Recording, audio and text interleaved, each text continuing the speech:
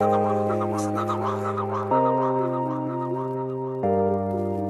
up, Stamp Gang? This is Sharde of Sharde No Days Off. Happy Sunday.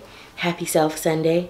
I know I have not sat down in this spot on a Sunday in quite a while because honestly, life, um, I feel like it's been a challenge since I, I came back to get myself back into the groove. And just like things have been coming up. There's a lot with the end of the school year and just a lot has been on my plate that has made getting these videos out regularly just a little bit more challenging.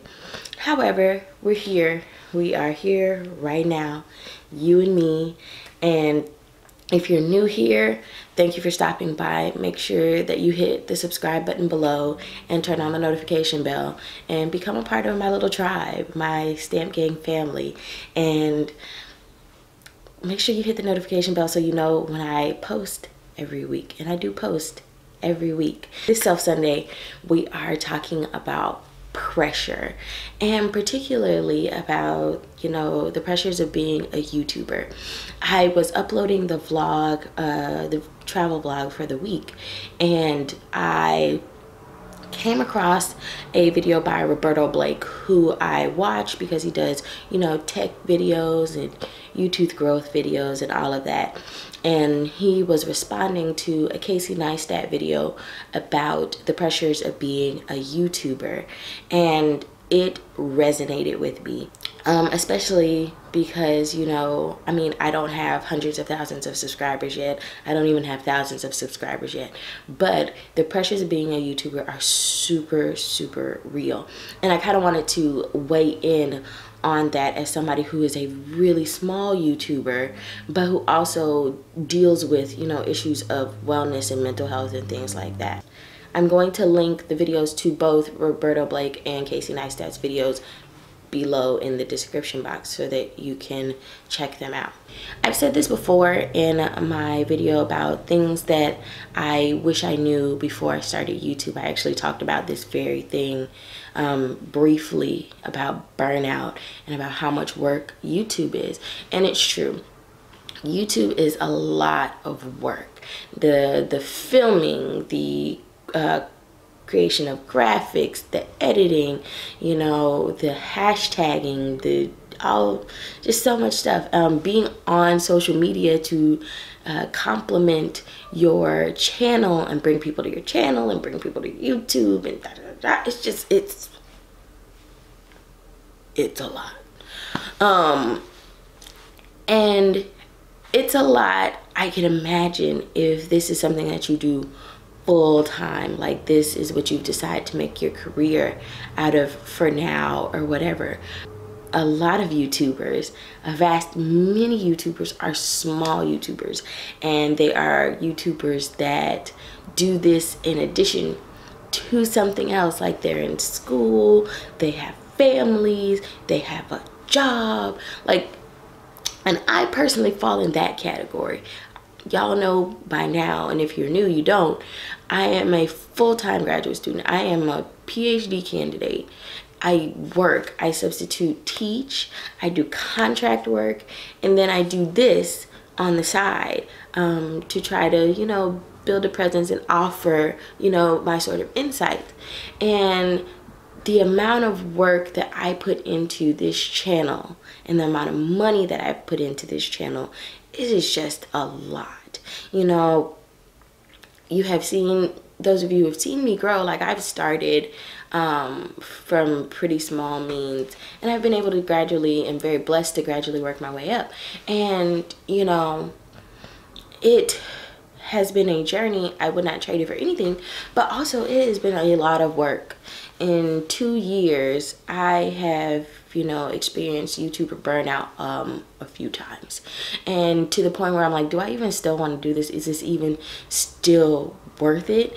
And, um, you know, I have to really, really think about what it does to, you know, my life and my relationships. As a matter of fact, this week, this weekend, I took I have been taking a break from social media and just you know trying to get my video uploaded and not like really trying to do a whole lot on social media because it's hard to do YouTube and not also be a social media personality. And you know, I took a break from that because it was just so overwhelming. It was so overwhelming, like the constant, you know, being plugged in and responding and, you know, putting things up and figuring out captions and hashtags and trying to make it go with this and this and this. It's just, it was a lot on me mentally. And, you know, it's a lot making yourself a public figure, you know, just putting your life in various uh, stages out there for people to consume as entertainment. And with that, you know, you get uh, you get a lot of people. You get negative feedback. You get you know people just wanting more and more of your time and of your transparency and of your life and things like that. And it can it can really really weigh you down. Like Roberto Blake was saying something that I really resonate with, and that is that, you know, a lot of YouTubers are introverts. it's not a big deal for us to get in front of this camera and to talk to you all out there, but, you know, we're actually just talking to our camera lens in the comfort of home and a work chosen safe space and all that.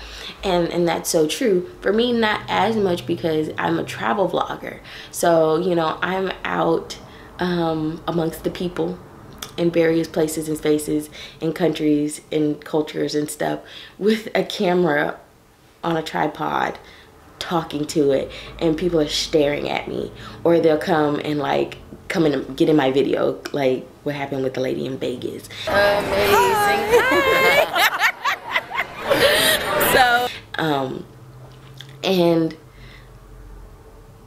it's a lot like you become a very public figure. I have had people take pictures with me. I've had people just stop and talk to me. And I don't mind it. I really don't. I love when people come and talk to me. I love when people ask what I do and find it fascinating and all that good stuff. I love talking to you all. You guys, like I said, y'all are my internet family. Y'all are my people. And I'm so thankful for like the platform to do this but do not be mistaken this is a lot on me as an introvert.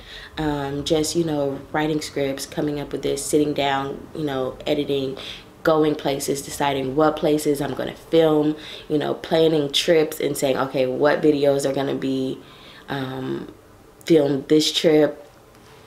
So it's easy. It's real easy to burn out. It's a lot of pressure to do that from week to week, whether you have 9.5 million subscribers or you have 262. It's it's not that different. It's just a larger volume. And you realize that I have realized that people are just can have the capacity to be very, very evil. Like people just say stuff and, you know, make comments out of ignorance um, either willful or you know not reading that a video is like a year old so conversion rates change from day to day. But or oh you should ask you know somebody whatever whatever. And i'm just like dude it's entertainment. And also what you get when you get somebody's video are highlights of everything that they filmed. There might have been hours of footage and you get seven minutes of it 10 minutes of it. And so you have to have a lot of grace for other people and you have to have a lot of grace for yourself and you have to sometimes you do need to take a break because that's a lot to a lot of weight to bombard yourself with and then you know still try to be happy and all that good stuff. So i find that you know the whole youtube platform it's it, it can be a lot. And casey said something that was also really really true that i did not realize until i started watching more um, of a breadth of videos. Like videos will pop up i might recommend it. And i watch all kind of videos. Like let's be honest i don't just watch travel videos. I actually rarely watch other travel videos. I do sometimes. But mostly like I watch hair tutorials, I watch makeup tutorials, and I watch tech stuff. Stuff about photography and videography and like tech equipment and things like that because I'm a nerd. Um, and he was right when he said like YouTube is different.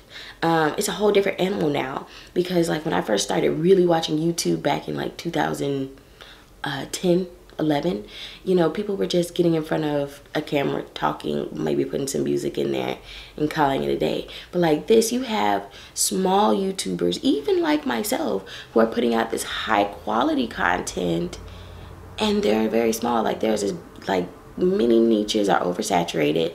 And you know people from you know, right where I am now are coming up with really good, you know, quality picture content. I've seen plenty of people that have fantastic videos and they might have a thousand subscribers, a few thousand at most, or they have as many as I have, or even just a little bit more than that. And it's mind boggling. But say that to say, you know, you have your big YouTubers like Casey Neistat and, um, you know, other YouTubers that have like hundreds of thousands of subscribers, millions of subscribers, and you still have those who like have quality content but you don't get to see them as much because they don't necessarily pop up on your recommenders because the algorithm I have not by any stretch mastered the algorithm and um there's just there's so many moving parts to YouTube and it's hard to figure all those things out to figure out how to grow your channel because they're constantly in flux they're constantly changing. So it is it's a lot of pressure. It's just one more added pressure. And, and like i said that's what we're talking about. So of course i'm not going to leave you without something practical that you can use. Um, when we talk about wellness and mental health you know pressure is not just you know being a youtuber but life is riddled with different sorts of pressure. And you know we're all under the microscope in one form or fashion. So you have to take care of yourself and you have to figure out what you need to do to be more in touch with yourself and to make sure that you're okay at the end of the day. So things that i do especially in terms of keeping my head on straight with this and all my other pressures because you know this is cool. This is a priority, but this is not my major priority. My major priority is getting my dissertation finished. So that takes precedence. And then this is there and just all my other, you know, things that I care about and that, you know, are on my plate. So one of the things that I have really been starting to practice um, is gratitude. Gratitude is a big, big thing. If you make um, being grateful a part of your daily life, it helps you to handle stresses a little bit better because you remember, you know, these are small bits in a bigger picture that you may or may not know what the big picture is. And so every day, um, every morning now when I do my devotional practice, and I've been going hard at going back onto my devotional practice, I have um, been writing down things that I am grateful for. And I challenged myself to write this down for the summer because usually I just do it in the car or whatever. But I actually am writing it down in um, a gratitude journal and it's just a spare journal I had at the house. And so every day I write, I am grateful for, and then I write at least five things that I am grateful for every day. And I also try to make them uh, different. So I'm not writing the same thing every day. So the more you have to um, challenge yourself, the more things you will find to be grateful for. And it does help my quality of life. It really does. Another thing that I am really big on is being present. And it's really easy to not be present, you know, with the cell phones and social media. You're always scrolling and intaking other people's lives and things like that, or trying to record bits and pieces of your life um, and you miss out on things. You don't really get to enjoy things. So, for example, um, today I was out at a um, at a festival with my friends and my partner, and you know, yesterday, no, not yesterday, uh, Friday, I went to two more festivals, and I was going to film them, but then I said no, I'm not gonna film I'm just gonna live my life. And sometimes you have to do that. Sometimes you have to say, I'm gonna be off social media for a few days. Y'all have seen my social media fast. It was the best thing I ever did. And I may do another one. Um, but you know, sometimes you have to unplug and make sure you're really looking at the world around you and you're taking it all in and you're taking in those moments and those help increase your quality of life because you're not sucked into everything being funneled through a device through through the web but that you remember that life is to be lived and you should live it in the present um, not get stuck on what somebody was doing an hour ago not what stuck on what you're going to post next on your feed or your timeline. But you also need to remember that your life is happening right now. Smile enjoy something go get some vitamin d sit in the sun you know laugh with your friends. So that is really important is to practice um, being present and the last thing especially if you're in something that is really pressure ridden but that you love um, is to remember why you started in the first place. When it comes to YouTube in particular, it's really easy to get caught up in the numbers and the algorithm and views and da da da da. But it's so important. It's so important to remember why you started your channel. Like for me, I started my channel because my friends and family would ask me about my travels all the time. And so I decided to create a platform where I could share that with them, answer those questions, but also help someone else who, you know, had the same questions about travel or who may feel intimidated by travel and say, hey, you know, I'm real normal. I'm real extra normal, you know, nothing fancy. I'm actually pretty meager living right around now and I can I travel. It's one of my priorities. It makes my life better. But also the fact that, you know, I really have been focused on my well-being, my mental health, my spiritual health, my emotional health, my physical health. And that is a journey and I want to show, share that with you so that you know somebody knows it's okay to take care of yourself and this, these are ways that you can do it. So you remember why you started and I put on my um, my desk which I don't know if you can see it says the one. And that's not some sort of personal you know amping myself up. It's it's reminding me to remember the one. And by that I mean not getting caught up in having you know the, hitting the 100,000 subscriber mark which I would love to do but remembering the one person the one person that might see your video and be like, yo, that was amazing. That helped me. I appreciate that. And it has happened. Like I get comments and they're like, yo, this was so helpful. Thank you. That is that's the goal. The one person. The one person that is positively affected by my presence online. So if you do that with, you know, not just YouTube, but with your regular life, you know, be more present practice gratitude remember why you started or the one person that you can help. It will help you to stay focused on the big picture and not get caught up in the little things that um, make life that much more of a pressure cooker. I hope that helps as always friends don't forget to like comment subscribe tell a friend to tell a friend about the channel and i'll see you in the next one. Bye